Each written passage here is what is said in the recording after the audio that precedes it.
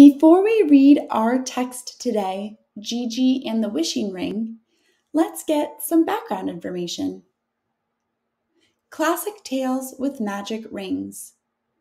From the ancient Greeks to modern times, storytellers in almost every part of the world have told stories that feature magic rings. These rings give special powers to anyone who wears them.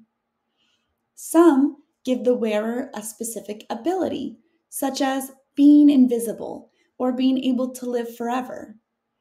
Others may bring true love and lasting happiness. In some stories, a ring is used to grant wishes.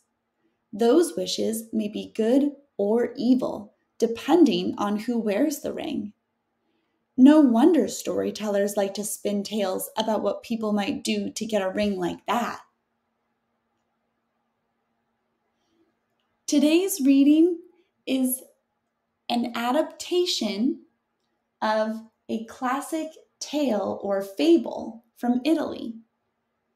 That means it's a folk tale that has been turned into a drama or play.